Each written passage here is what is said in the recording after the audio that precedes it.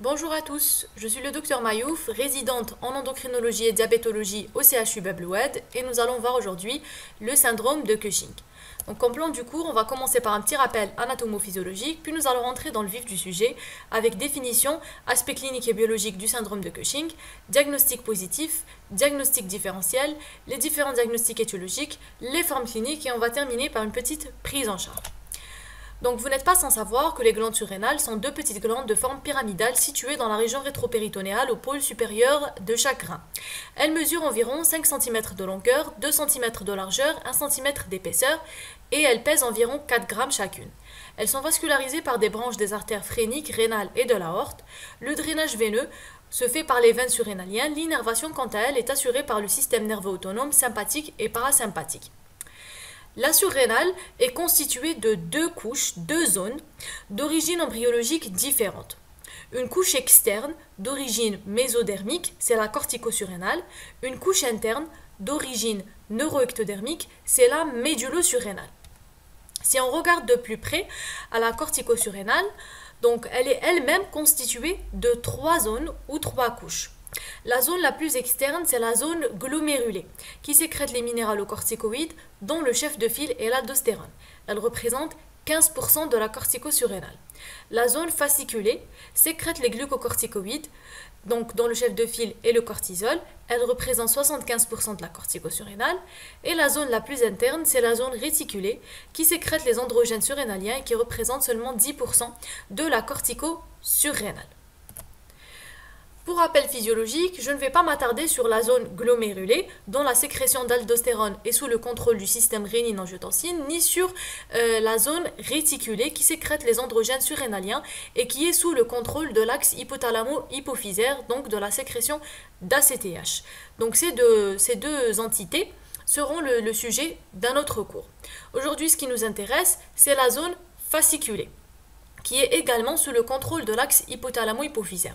Donc la zone fasciculée et la zone réticulée sont toutes deux sous le contrôle de l'axe hypothalamo-hypophysaire, donc de la sécrétion d'ACTH. Mais à la différence de la zone fasciculée, la sécrétion par la zone réticulée des androgènes surrénaliens ne va pas exercer de feedback négatif sur la sécrétion d'ACTH, contrairement à la zone fasciculée où la sécrétion de cortisol, elle, va entraîner un feedback négatif sur la sécrétion d'ACTH, donc de CRH et d'ACTH. Donc la sécrétion du cortisol par la surrénale répond à la stimulation par l'ACTH hypophysaire, elle-même stimulée par la CRH hypothalamique. Donc le CRH est libéré dans la circulation porte hypothalamo-hypophysaire et stimule la sécrétion d'ACTH. L'ACTH est produite par les cellules euh, antéhypophysaire, donc par l'antéhypophyse. Initialement, donc l'ACTH n'est pas sécrétée directement euh, donc sous forme mature.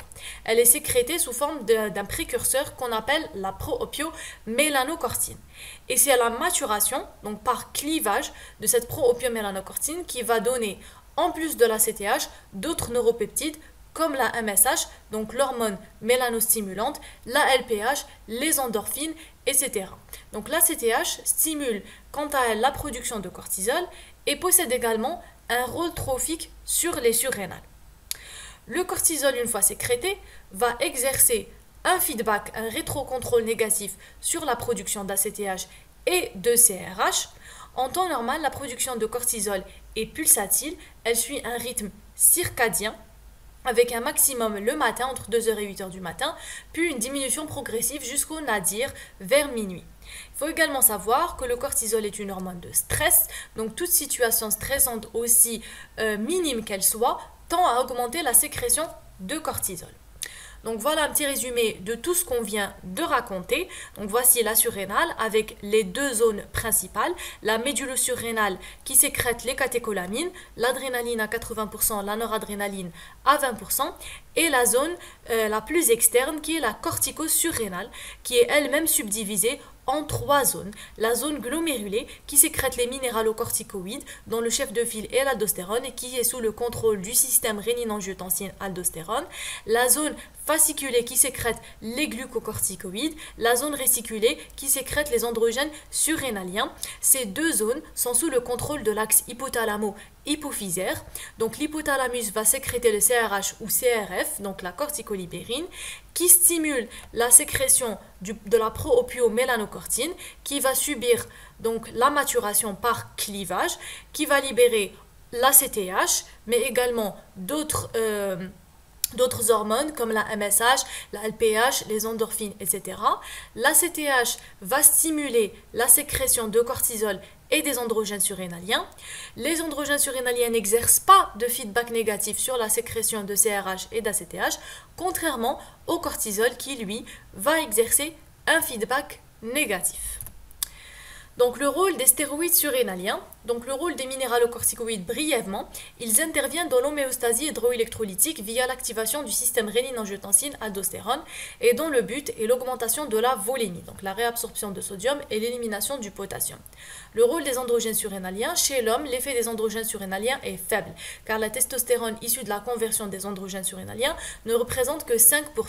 Par contre, chez la femme, les androgènes surrénaliens constituent 40 à 60% de la production totale.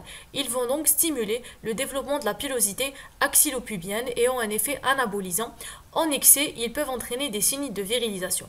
Chez l'enfant, en excès, ils peuvent entraîner ce qu'on appelle une pseudo-puberté précoce. Pour le rôle des glucocorticoïdes, donc le cortisol, ils ont de, multiples, donc le cortisol a de multiples rôles et souvent les effets qu'il entraîne sont intriqués les unes avec les autres.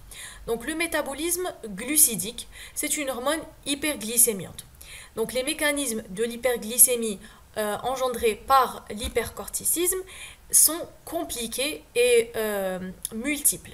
Je vais citer brièvement l'activation de la néoglucogénèse hépatique, donc l'activation d'enzymes clés, la glucose 6-phosphate déshydrogénase et euh, la phosphoénol pyruvate kinase, donc qui sont les deux enzymes clés activées par le cortisol pour augmenter la néoglucogénèse hépatique, l'effet inhibiteur direct sur la sécrétion d'insuline par altération du transporteur GLUT2 au niveau des cellules bêta-pancréatiques, et le troisième mécanisme, c'est l'insulino-résistance, d'une part la diminution de l'expression des récepteurs GLUT4 à la surface des cellules musculaires et du tissu adipeux, et d'autre part euh, l'obésité, euh, l'obésité abdominale, etc., qui va euh, qui va encore plus donc, favoriser cette insulino-résistance. Sur le métabolisme protidique, on a une augmentation du catabolisme protéique, touche principalement les muscles, la peau et les os, et diminution de la synthèse protidique. Donc on a un effet catabolique et anti-anabolique. Métabolisme lipidique, activation de la lipolyse dans le tissu adipeux avec libération d'acides gras libres dans la circulation, augmentation des taux plasmatiques de triglycérides et du cortisol par stimulation de la synthèse hépatique. Sur le métabolisme osseux et calcique, inhibition de la formation osseuse par inhibition des ostéoblastes, alors que la résorption osseuse est stimulée, d'où le risque d'ostéoporose en cas d'hypercorticisme.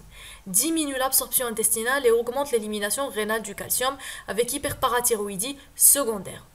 Action sur les lignées sanguines, lymphopénie, éosinopénie, monocytopénie par augmentation de leur distribution vers la rate, les ganglions lymphatiques et la moelle osseuse.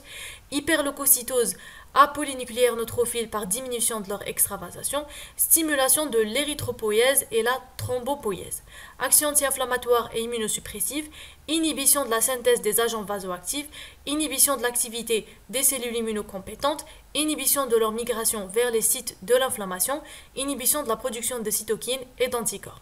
Sur le système cardiovasculaire, augmentation de la pression artérielle par augmentation de la sensibilité vasculaire aux agents vasopresseurs tels que les catécholamines et l'angiotensine 2, augmentation de la synthèse de l'angiotensinogène, augmentation de la réabsorption rénale du sodium et la clairance de l'eau libre. Effet minéralocorticoïde à forte concentration.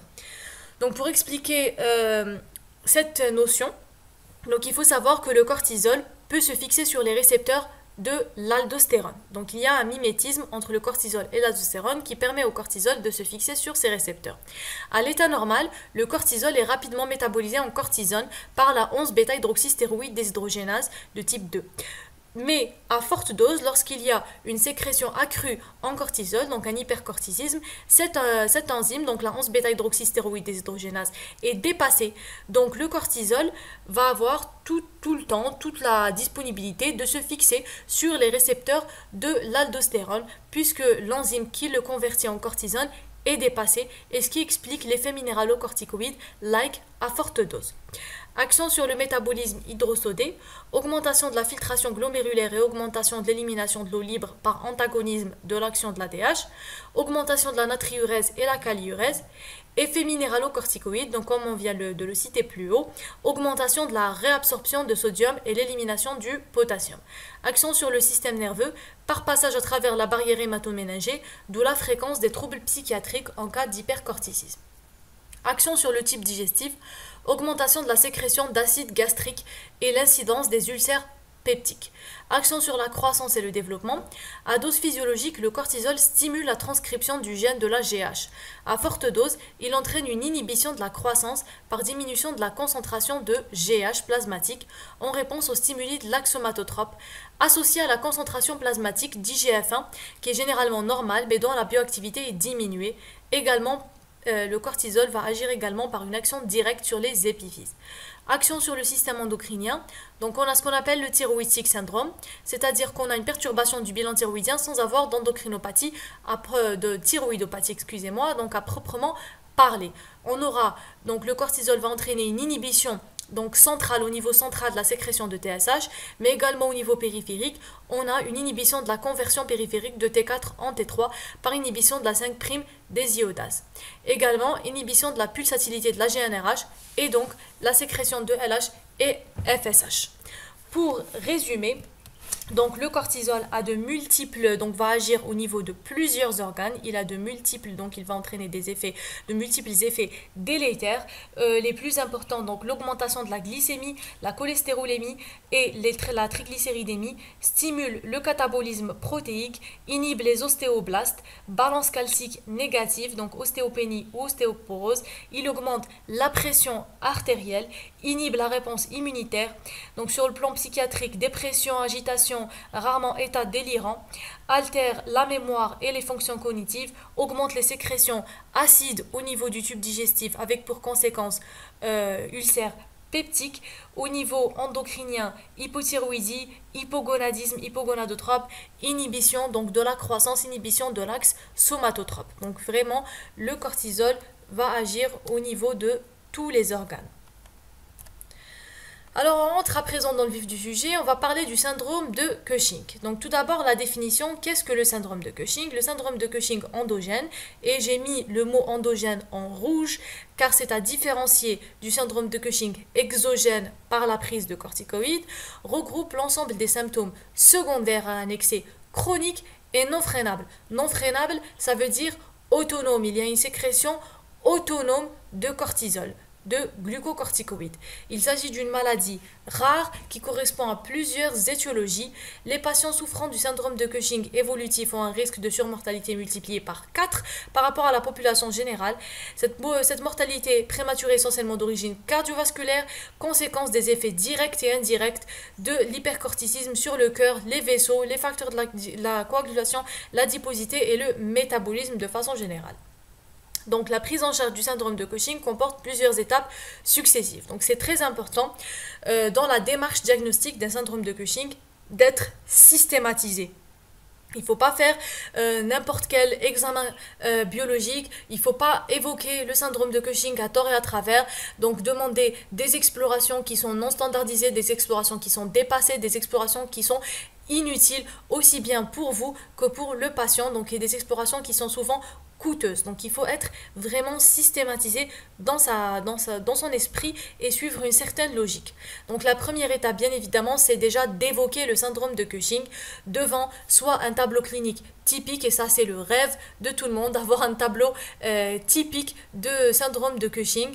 Donc, mais c'est malheureusement pas souvent le cas, donc il faut savoir évoquer le syndrome de Cushing devant des situations parfois délicates.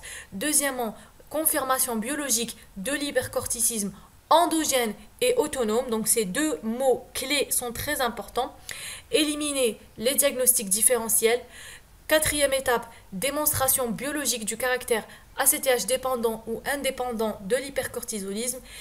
Cinquième étape, la mise en évidence de la lésion à l'origine du syndrome de Cushing. Et la sixième étape, une prise en charge adaptée à chaque étiologie. Alors, premièrement, quand évoquer un syndrome de Cushing? Donc il n'est pas légitime de faire un dépistage systématique du syndrome de Cushing, mais un dépistage ciblé et indiqué dans des situations euh, bien euh, précises. Donc je vais citer quelques situations, donc quelques cas euh, qu'on peut retrouver. Alors première situation, une clinique évocatrice. Donc on reçoit à notre consultation une patiente qui présente un tableau typique de syndrome de Cushing avec l'obésité facio-tronculaire, les membres inférieurs grêles, les vergitures pourpres larges. Là, c'est merveilleux, c'est magnifique. On a un tableau typique avec des signes d'hypercatabolisme cutané, musculaire, osseux. Là déjà, il faudrait pas passer à côté. Deuxième situation, une patiente ou un patient qui consulte pour une prise pondérale importante sans modification du régime alimentaire et ne répondant pas ou très peu à la restriction calorique. Il faut savoir y penser même si c'est pas évident. Euh, troisième situation, des maladies atypiques. Donc pourquoi atypiques En raison de leur âge de survenue? Un patient qui fait une HTA, donc un patient jeune qui fait une hypertension artérielle, euh, il faut savoir y penser, il faut savoir l'évoquer. Donc euh, de, leur âge de survenue, de leur sévérité. Donc une HTA, un diabète qui sont vraiment sévères, très déséquilibrés. De leur résistance au traitement, qui ne répondent pas au traitement malgré l'intensification d'un traitement antihypertenseur, l'intensification d'un traitement donc euh, euh, pour d'un traitement antidiabétique. Donc, et ils ne répondent pas. Ou l'absence de facteurs de risque classiques, donc, euh, les, pathologies donc, que j'ai citées en exemple, une hypertension artérielle, une maladie thromboembolique, un diabète, une ostéoporose, une maladie psychiatrique, un hypogonadisme, une infection sévère ou opportuniste, donc toutes ces situations donc, qui surviennent soit chez des sujets jeunes, donc soit euh, par leur sévérité, leur résistance au traitement, l'absence de facteurs de risque, doivent faire évoquer un syndrome de Cushing. Toute tumeur surrénalienne y compris si la découverte est fortuite. On fait un scanner pour une pathologie X ou Y, on tombe sur une tumeur surrénalienne, ce qu'on appelle un incidentalome surrénalien. On doit rechercher un syndrome de Cushing. Obligatoire. Même s'il n'existe pas d'hypercorticisme clinique évident, tout adénome hypophysaire. Donc tout adénome hypophysaire, même si cliniquement le patient ne présente pas des signes cliniques évocateurs d'hypercorticisme, doit faire rechercher un syndrome de Cushing. Et les tumeurs pouvant être associées à une sécrétion ectopique d'ACTH, d'autant que la cachexie peut être au premier plan sans répartition facio-tronculaire. C'est-à-dire que, par exemple, on sait que cette tumeur peut entraîner une sécrétion ectopique d'ACTH, comme par exemple une tumeur bronchique peut entraîner une sécrétion ectopique d'ACTH, on doit la rechercher. Chez l'enfant, un ralentissement de la croissance, euh, et particulièrement s'il est associé à une prise pondérale paradoxale, doit faire rechercher un syndrome de Cushing.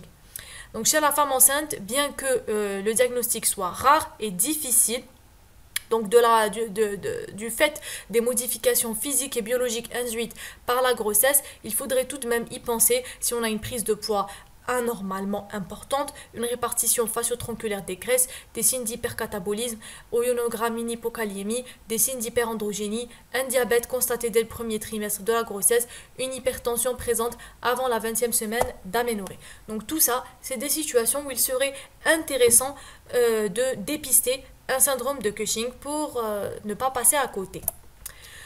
Alors, le tableau clinique classique. Le syndrome de Cushing partage de nombreux symptômes non spécifiques avec le syndrome métabolique, l'obésité viscérale, l'hypertension artérielle, le diabète. Le clinicien, donc vous, devra donc rechercher les symptômes spécifiques cutanés, musculaires et osseux, reflet de l'activité catabolique et anti-anabolique du cortisol sur le métabolisme protidique et donc la présence renforce la probabilité du diagnostic. Alors le tableau clinique classique est le plus souvent rencontré chez une femme d'âge moyen, vers 40-45 ans, qui présente un aspect cushingoïde acquis, à différencier d'un aspect cushingoïde constitutionnel. Donc on peut faire la différence avec des photographies anciennes, donc euh, qui, vont, qui vont nous permettre de faire la différence. Donc euh, à savoir donc les signes cliniques, on a la prise pondérale. La prise pondérale, c'est le symptôme le plus fréquent. Elle survient en l'absence de modification des habitudes alimentaires, peu sensible à la restriction calorique et elle a une topographie particulière. Facio-tronculaire, le visage devient arrondi, bouffi, on parle de faciès lunaire avec un comblement des creux susclaviculaires. Au niveau de la nuque, on a la fameuse bosse de bison, c'est l'accumulation de tissu adipeux euh, à ce niveau-là. Et dans le territoire splanchnique, elle est responsable d'une augmentation du tour de taille, le tout contrastant avec l'amyotrophie des ceintures, donc l'amyotrophie des membres inférieurs et des membres supérieurs. Les symptômes cataboliques sont les plus spécifiques. Donc la prise pondérale est le symptôme le plus fréquemment retrouvé, mais ce n'est pas le symptôme le plus spécifique.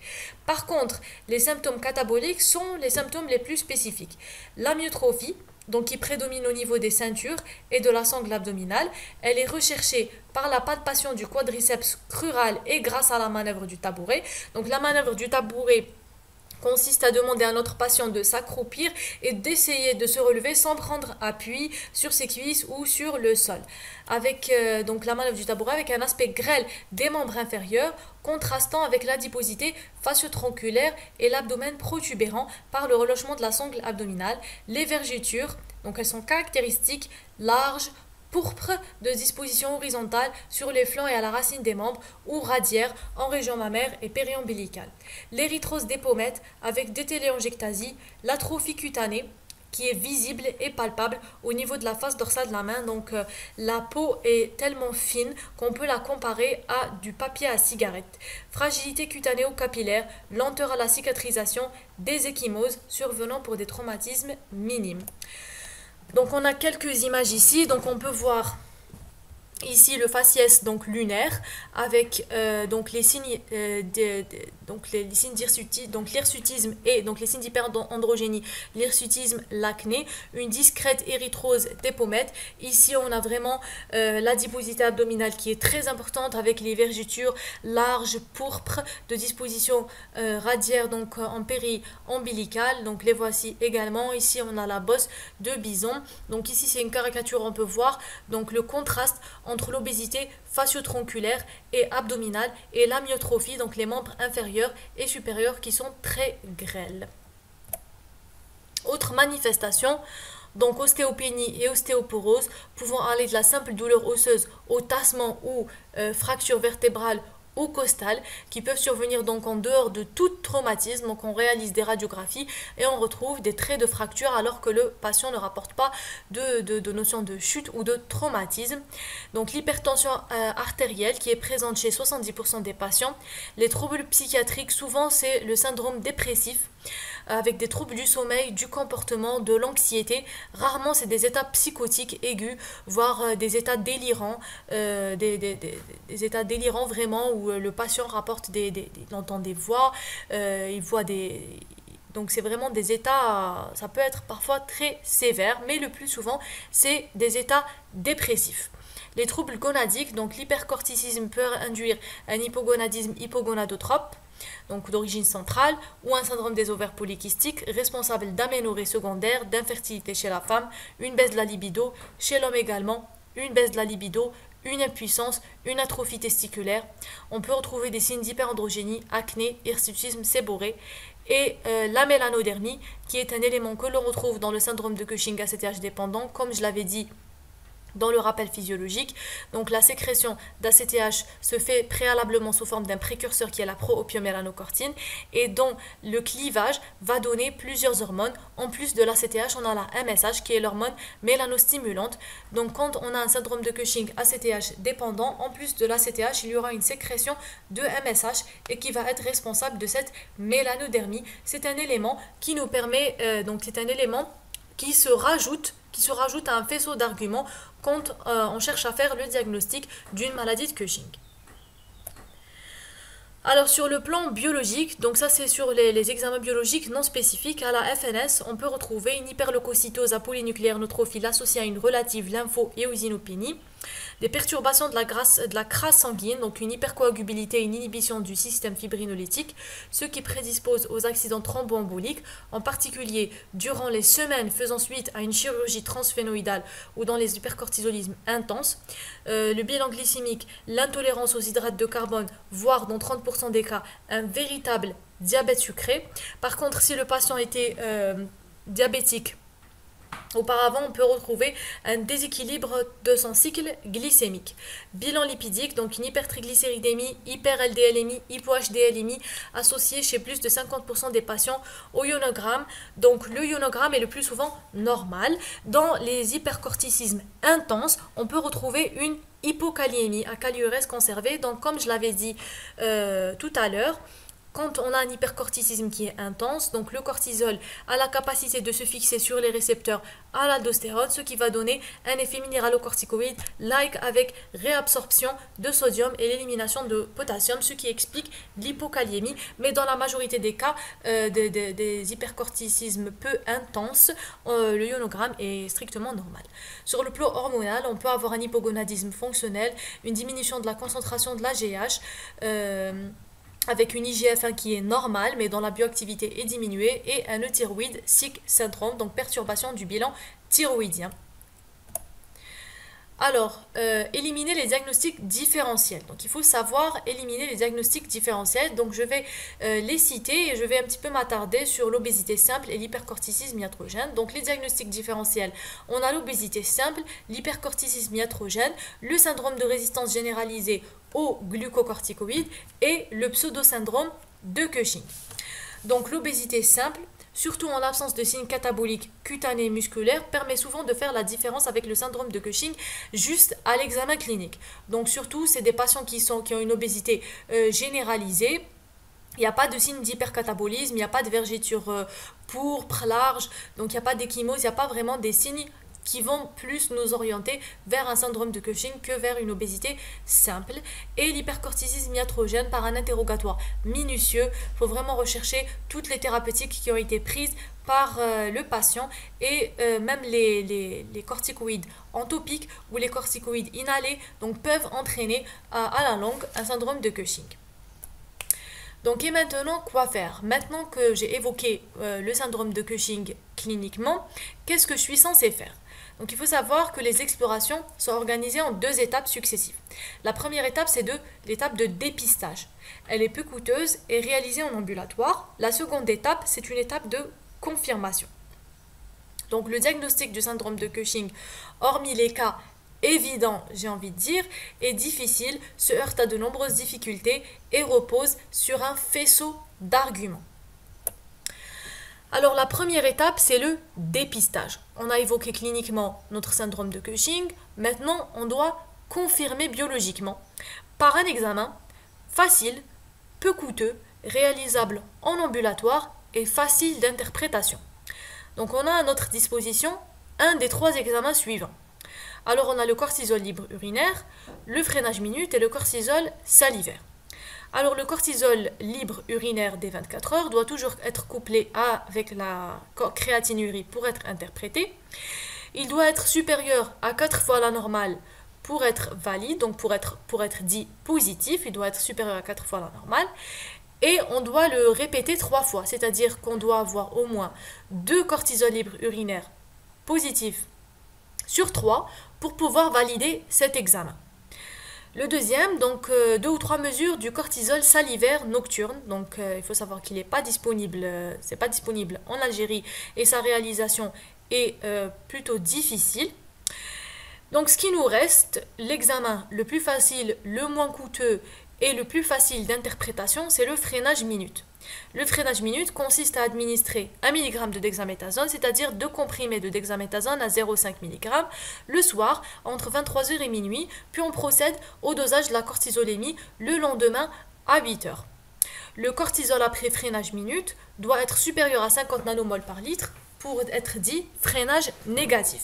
Donc lorsque le freinage est négatif, c'est-à-dire supérieur à 50 nanomoles par litre, c'est en faveur donc de votre suspicion clinique, c'est-à-dire du syndrome de Cushing, étant donné que l'administration de dexaméthasone n'a pas permis de freiner la sécrétion de cortisol.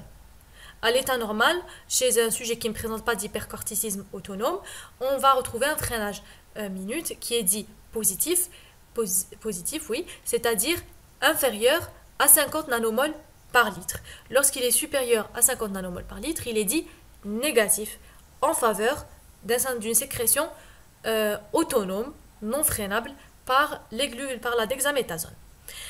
Si l'un de ces examens est anormal, le patient doit être adressé donc à un service spécialisé pour confirmer le syndrome de Cushing avec des examens de deuxième intention. Le choix entre ces différentes techniques, comme je l'ai dit, dépend de leur disponibilité, des performances du laboratoire, de, leur coût, bien sûr. Il faut prendre en considération le coût par rapport au malade, les sources d'erreurs techniques et euh, les, conditions du patient. Donc voici un arbre décisionnel. Donc la première étape, évoquer le syndrome de Cushing. Deuxième étape, dépistage. Un des trois examens suivants. Cortisol libre urinaire, cortisol salivaire, freinage minute. Si, si l'examen qu'on choisit est normal, le Cushing est peu probable. Si il est anormal, il est euh, conseillé de réactualiser, donc de refaire l'examen une deuxième fois. Si on a des résultats qui sont concordants, par exemple un deuxième freinage minute négatif supérieur à 50 nanomoles par litre, le Cushing est confirmé, on adresse le patient pour complément d'exploration. Si euh, on a des résultats discordants, on peut refaire le bilan à distance euh, quelques semaines ou un mois après. Alors attention, toujours éliminer une prise exogène de corticoïdes. Il ne faut pas utiliser des dosages archaïques, des examens non standardisés, par exemple un cortisol en fin d'après-midi qui n'a aucun intérêt, des examens non discriminants, par exemple un cortisolémie à 8 heures. Donc la cortisolémie à 8 heures seule n'a aucun intérêt dans le diagnostic d'un hypercorticisme. Pourquoi? Donc le cortisol à 8 heures de base, donc, euh, et donc la limite c'est aux alentours de 550 nanomoles par litre. Donc on retrouve un cortisol à 8 heures à 600 ou à 700. Est-ce que ça a une signification? Non, ça n'a aucune signification. Comme on l'a dit précédemment, le cortisol est une hormone de stress.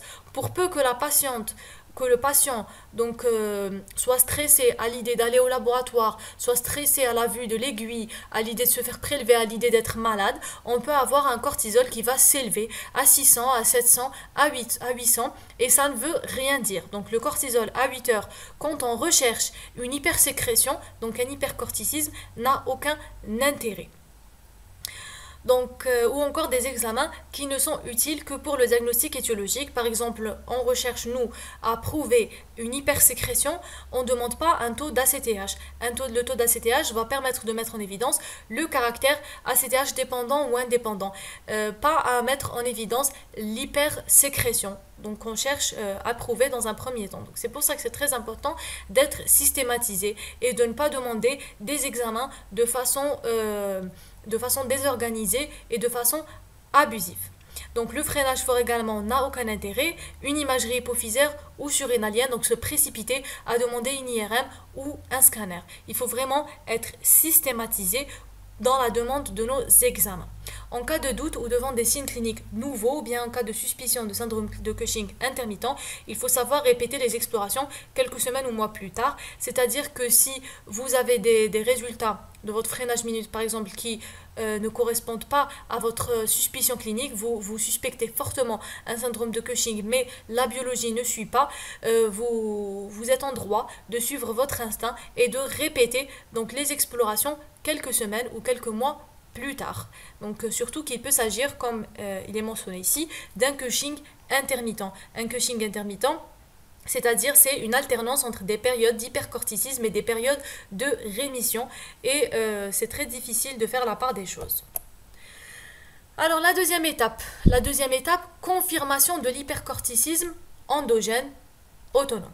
Donc ces examens sont en général réalisés en milieu hospitalier. Donc on reçoit le patient, euh, donc on reçoit le patient qui a été adressé pour suspicion de syndrome de Cushing avec un freinage minute qui est négatif. On va compléter d'autres examens qui vont permettre de conforter notre faisceau d'arguments. Alors, euh, on a le premier examen, c'est l'étude du rythme circadien. Donc, on va faire un cycle du cortisol. Un cycle du cortisol qui est censé mettre en évidence la rupture du cycle circadien du cortisol. Donc on sait que le cortisol a, une sécrétion maximale entre 2h et 8h du matin et un nadir à minuit. Donc retrouver un taux de cortisol élevé supérieur à 250 nanomoles par litre à minuit, c'est anormal. C'est en faveur, c'est un élément en plus en faveur de l'hypercorticisme endogène autonome, donc c'est la rupture du cycle circadien. Deuxième euh, examen, la perte du rétrocontrôle des corticoïdes exogènes sur la sécrétion surrénalienne. C'est le freinage faible. Donc le freinage faible, euh, donc le freinage faible va permettre, donc comme le freinage minute, mais il est euh, plus sensible, donc va permettre, comme le, freinage minute, donc va permettre de mettre en évidence le caractère, donc la sécrétion autonome, c'est-à-dire non freinable de cortisol non freinable par la dexaméthasone. Donc il consiste à administrer 0,5 mg de dexaméthasone chaque 6 heures pendant 48 heures, puis faire un dosage du cortisol le lendemain à 8 heures, soit 6 heures après la dernière prise. Le freinage est dit négatif si le cortisol est supérieur à 50 nanomoles par litre ou la cortisolérie supérieure à 27 nanomoles par 24 heures et c'est un élément en plus en faveur du diagnostic. Donc deuxième étape, donc c'est mettre en évidence la rupture du cycle circadien, donc la rupture du cycle du cortisol, et euh, mettre en évidence donc mettre en évidence le caractère autonome, donc la sécrétion autonome non freinable par euh, la dexaméthasone. Donc pour résumer, suspicion clinique de syndrome de Cushing, donc première étape dépistage, freinage minute, cortisol salivaire, cortisol libre urinaire. Donc j'ai pris moi le freinage minute. Donc freinage minute sur cortisol négatif. Deuxième étape, compléter un cycle du cortisol avec dosage du cortisol toutes les 4 heures. Donc à 8 heures puis 24 heures, donc c'est ce qu'on fait en général en pratique. Donc c'est difficile de réaliser un cortisol toutes les 4 heures, mais théoriquement c'est toutes les 4 heures. Et un freinage faible sur cortisol si négatif supérieur à 50 nanomoles par litre. Troisième temps, c'est le diagnostic étiologique. Donc le premier et le deuxième temps, on a confirmé notre cliniquement et biologiquement notre hypercorticisme endogène autonome. Troisième étape, on doit rechercher la source de cette hypersécrétion. D'où provient cette hypersécrétion de cortisol? Quelle est son origine? Donc c'est le diagnostic étiologique. Devant un syndrome de Cushing, deux grands cadres physiopathologiques. Donc on pense à deux choses. Le syndrome de Cushing ACTH dépendant, syndrome de Cushing non ACTH dépendant. Le syndrome de Cushing ACTH dépendant représente 80% des cas. Donc c'est le cadre le, plus fréquemment rencontré dans notre pratique courante. Donc les surrénales sont stimulées par une sécrétion inappropriée d'ACTH. Dans environ 90% des cas, l'ACTH est d'origine eutopique sécrété par un adénome hypophysaire corticotrope. Donc au niveau hypophysaire, il y a un adénome corticotrope qui sécrète de l'ACTH en excès et qui va entraîner une sécrétion, donc une stimulation des surrénales et la sécrétion de cortisol. C'est la maladie de Cushing. Dans environ 10% des cas, l'ACTH est d'origine ectopique, produit par une tumeur neuroendocrine extra-hypophysaire. Cette sécrétion ectopique d'ACTH est responsable de ce qu'on appelle un syndrome de Cushing paranéoplasique. Deuxième euh, cas de figure, le syndrome de Cushing non ACTH dépendant. 20% des cas. La sécrétion surrénalienne est autonome et supprime la sécrétion d'ACTH, c'est-à-dire que au niveau surrénalien, il y a une sécrétion autonome de cortisol qui va freiner l'axe hypothalamo-hypophysaire et la sécrétion d'ACTH. L'hypercortisolisme est en rapport avec une tumeur surrénalienne unilatérale bénigne, adénome cortisolique dans environ 70% des cas, maligne, carcinome primitif ou cortico-surrénal malin dans 30% des cas, et dans moins de 5% des cas, ce sont les deux surrénales qui sécrètent en excès le cortisol, hyperplasie macronodulaire ou dysplasie micronodulaire des surrénales.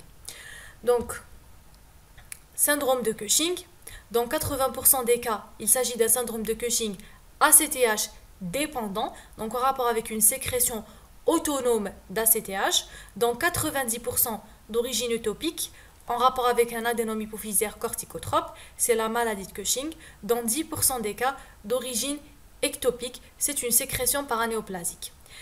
Syndrome de Cushing ACTH indépendant, dans 20% des cas, donc unilatéral, dans 90% des cas, adénome cortisolique bénin qui va sécréter le cortisol ou tumeur maligne cortico-surrénalum, bilatéral dans 5% des cas, hyperplasie macro- ou micronodulaire des surrénales. Donc la première étape dans le cadre du diagnostic étiologique consiste à mettre en évidence le caractère ACTH dépendant ou indépendant par le dosage de l'ACTH. Donc ce n'est que maintenant que le dosage de l'ACTH a un intérêt. Donc le dosage de l'ACTH répond à des conditions standardisées, donc que ce soit par rapport à l'horaire du dosage, la manière donc la façon de prélever et l'acheminement des tubes. Donc c'est très important de respecter toutes ces étapes. Donc le dosage de l'ACTH, on retrouve un taux d'ACTH inférieur à 5 picogrammes par millilitre. On parlera de syndrome de Cushing ACTH indépendant. Donc il existe quelque part une sécrétion de cortisol qui va freiner la sécrétion centrale, donc qui va freiner l'ACTH. On aura un taux d'ACTH qui est donc freiné inférieur à 5 picogrammes par millilitre. ACTH supérieur à 15 picogrammes par millilitre. C'est en faveur d'un syndrome de Cushing ACTH dépendant. Donc soit il s'agit d'un adénome hypophysaire qui sécrète l'ACTH, soit il s'agit d'une sécrétion paranéoplasique d'ACTH. ACTH intermédiaire entre 5 et 15 picogrammes, répétez les dosages et vous faites le test au CRH. Alors premier cas de figure, hypercorticisme endogène, clinique et biologique, ACTH dépendant, la maladie de Cushing. C'est l'étiologie la plus fréquente, 90% des cas. Elle est en rapport dans 90% des cas avec un microadénome hypophysaire corticotrope. Les cellules tumorales présentent les caractéristiques du phénotype corticotrope similaires aux cellules corticotropes normales, c'est-à-dire que les cellules tumorales sont très similaires aux cellules corticotropes normales retrouvées au niveau euh.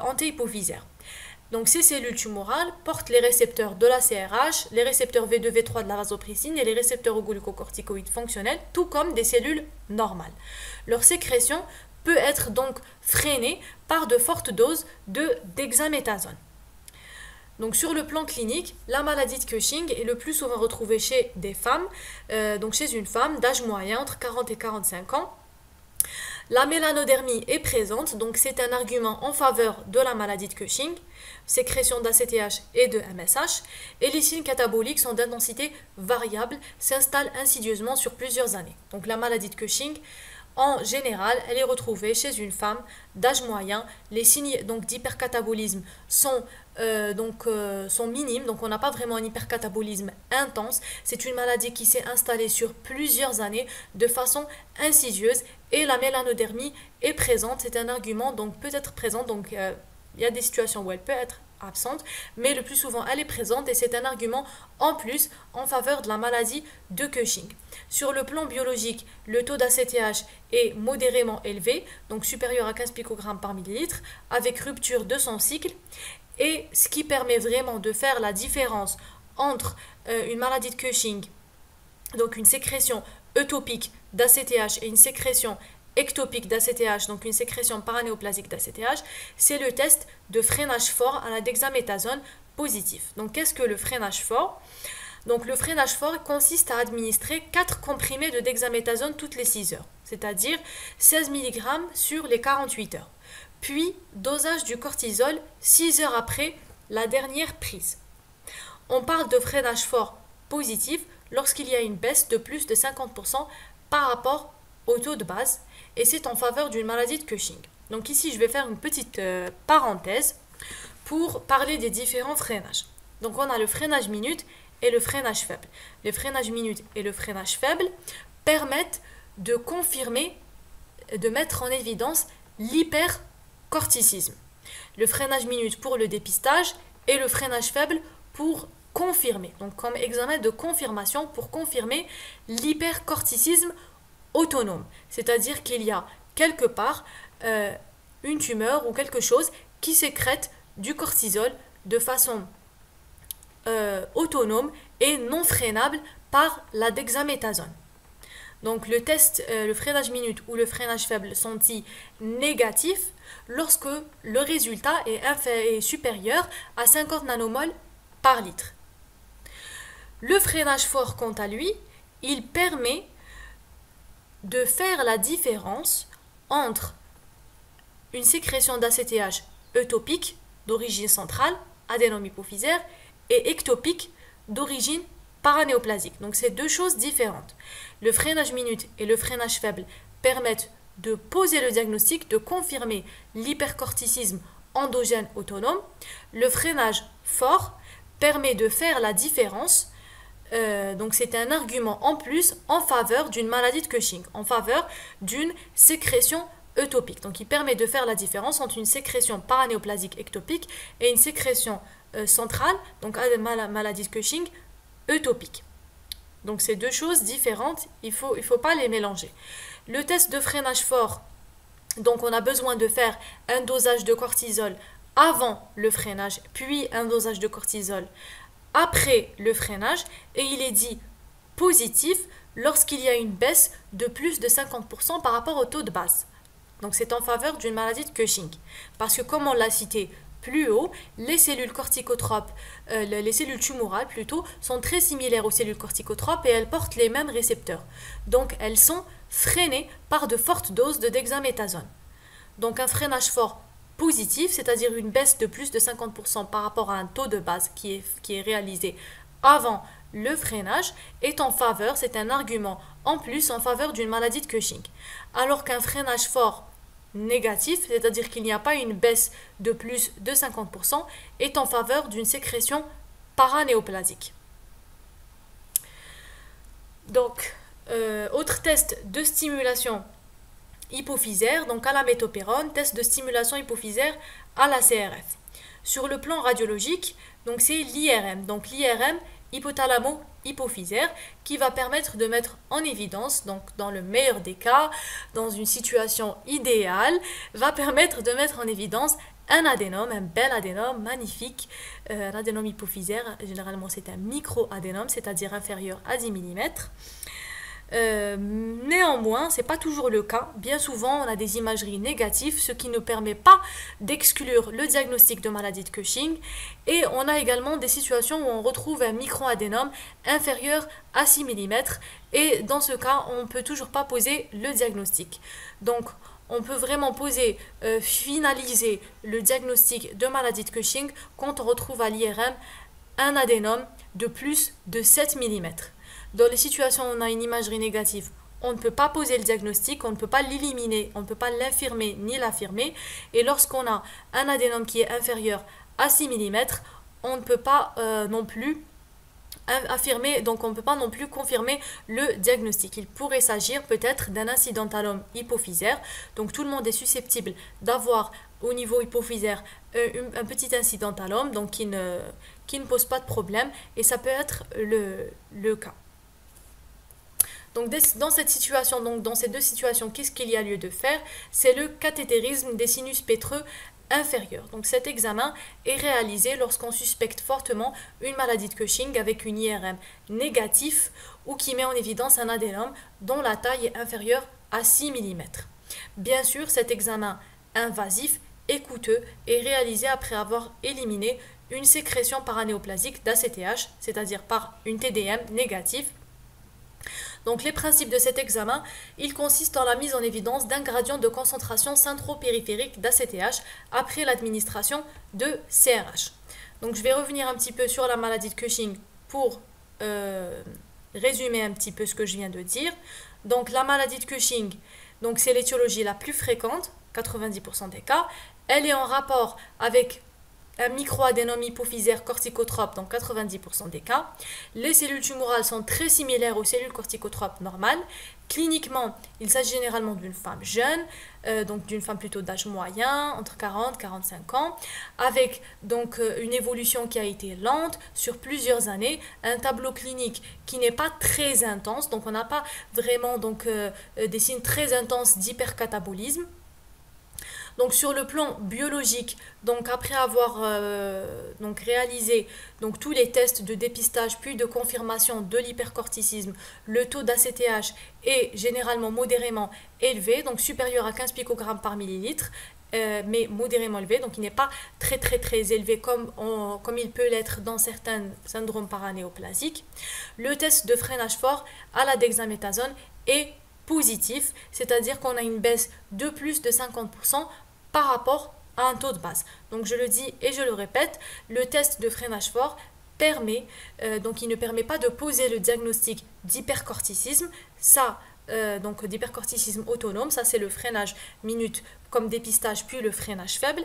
Le freinage fort, il permet de faire la distinction entre une sécrétion eutopique, donc d'origine centrale, une maladie de Cushing, et ectopique.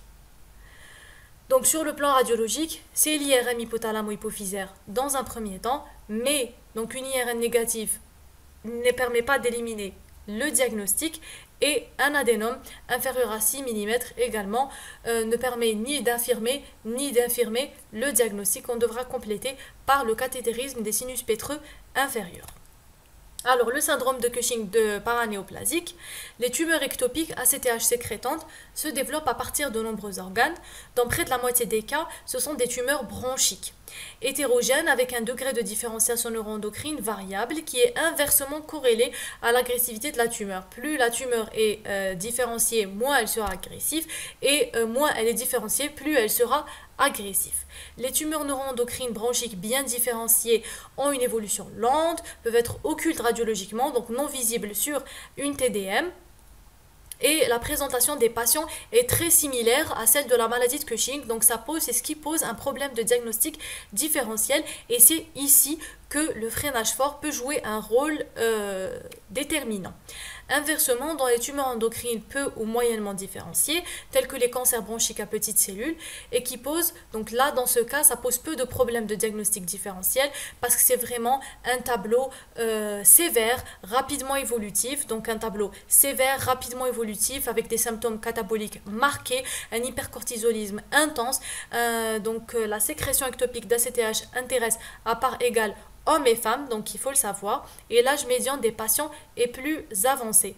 Donc les tableaux historiques de syndrome de Cushing paranéoplasique lié à un carcinome bronchique à petites cellules ne prêtent pas à confusion avec la maladie de Cushing. Il est rapidement évolutif, c'est un symptôme marqué, hypercortisolisme intense. En revanche, pour les tumeurs ectopiques bien différenciées, donc euh, l'intensité des anomalies peut simuler celui d'une maladie de Cushing, donc c'est ce que j'ai dit précédemment. Sur le plan biologique, on peut retrouver une hypokaliémie. Donc, comme euh, je l'avais dit tout à l'heure, on retrouve l'hypokaliémie généralement dans des hypercortisolismes intenses avec alcalose métabolique et le taux d'ACTH est très élevé. Sur le plan radiologique, les phéochromocytomes, les carcinomes pancréatiques et thymiques sont aisément identifiables radiologiquement grâce à la TTM. Néanmoins, dans 20% des cas, la source de sécrétion d'ACTH est occulte lors de la présentation des patients du fait de leur petite taille. Deuxième cas de figure, ce sont les hypercorticismes endogènes CTH indépendant. Dans ce cas, l'hypercorticisme est primitif, d'origine surrénalien, unilatéral dans 95% des cas, soit c'est un adénome bénin dans 70% ou un carcinome surrénalien dans 30%, ou bilatéral dans 5% des cas.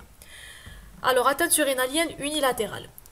Sur le plan clinique, le syndrome de Cushing en rapport avec un adénome cortisolique est le plus souvent polysymptomatique et découvert fortuitement. Donc on fait une TDM pour une pathologie X ou Y et on tombe euh, à la radio, à la TDM, sur une tumeur surrénalienne. C'est ce qu'on appelle un incidentalome surrénalien.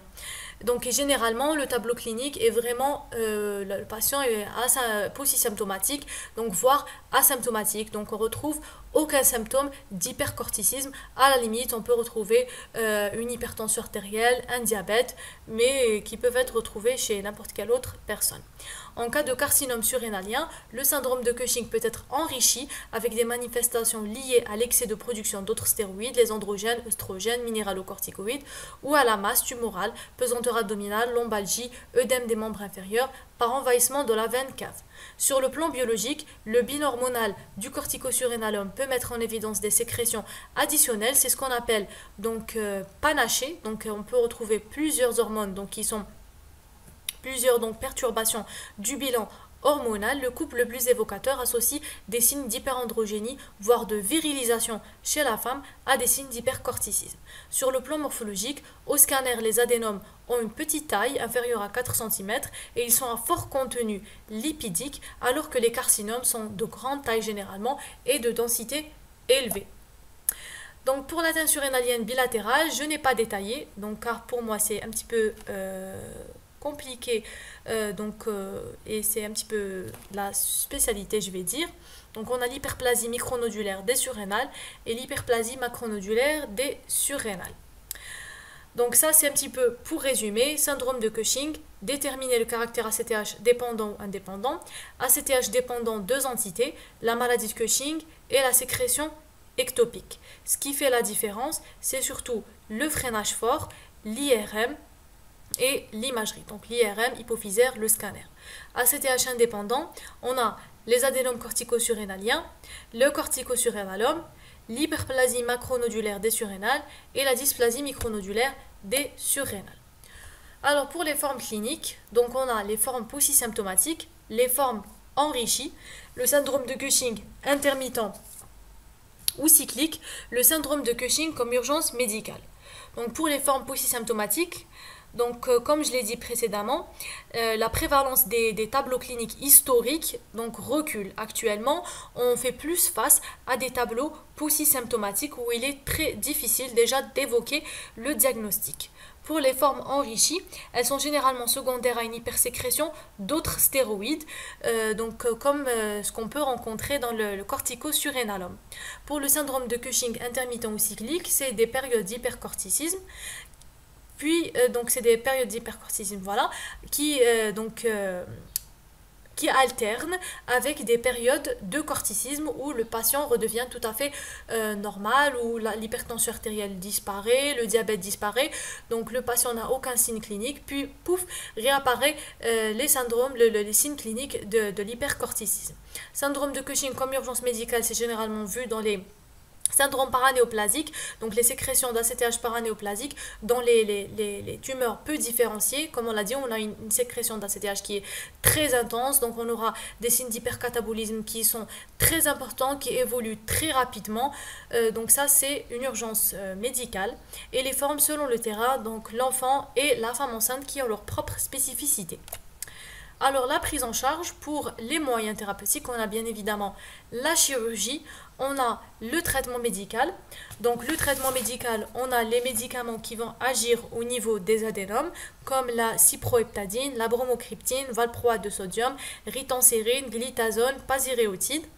On a les thérapeutiques qui vont agir donc au niveau des surrénales, donc qui sont divisés en deux. On a ceux qui vont agir, donc ce sont les drogues adrénolytiques, c'est-à-dire qui vont qui sont cytotoxiques pour les surrénales, comme l'OPDDD, c'est le mitotane. Et on a les inhibiteurs de la stéroïdogénèse, kétoconazole, métopyrone, étomidate, aminoglutétimide. Et on a les drogues à action périphérique, donc comme le mifepristone ou le RU486, qui entrent en compétition avec le cortisol au niveau de ses récepteurs. Autre thérapeutique, on a la surrénalectomie et euh, la radiothérapie.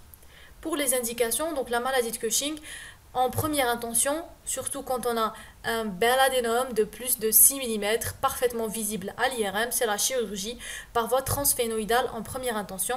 En cas d'échec, ce qui est malheureusement le cas, la réintervention hypophysaire euh, ce qui est malheureusement souvent le cas, je voulais dire. Donc la, la réintervention hypophysaire dont le succès est moindre qu'en première intention ou l'hypophysectomie subtotale.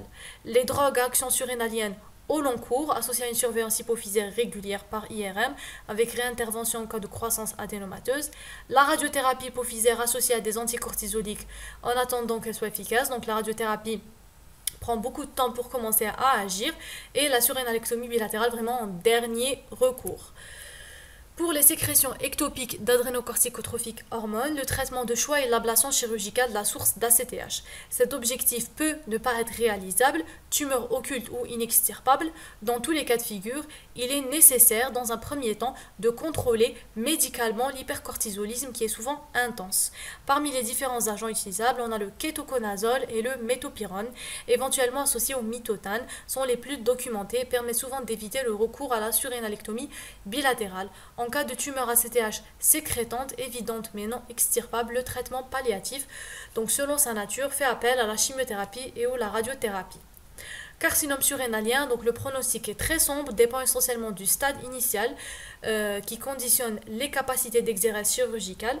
En dehors de la chirurgie, le traitement est assuré par le mitotane également prescrit à visée oncologique, donc comme chimiothérapie, à forte dose. En cas d'hypercortisolisme persistant, on prescrit volontiers des inhibiteurs de la stéroïdogénèse en association. Adénome cortisolique, il relève de la surénalectomie unilatérale. Donc souvent on a une insuffisance corticotrope secondaire de durée variable et la règle obligeant à une supplémentation par hydrocortisone. Pour l'hyperplasie macronodulaire bilatérale, donc traitement médical, chirurgie de la surrénale la plus volumineuse ou parfois surrénalectomie bilatérale. Pour l'hyperplasie micronodulaire euh, des surrénales et le syndrome de McCune-Albright, le traitement de choix et la surrénalectomie bilatérale. Également, les inhibiteurs de la stéroïdogénèse peuvent permettre de contrôler l'hypercortisolisme quand celui-ci est intermittent et la surrénalectomie unilatérale peut être discutée en cas d'hypercortisolisme d'intensité modérée. Voilà, je vous remercie pour votre attention. Donc j'espère que c'était euh, clair. En cas de question, vous pouvez euh, m'envoyer un message ou laisser un commentaire comme vous voulez. Euh, donc on se retrouve très prochainement pour de nouvelles vidéos. Merci à vous.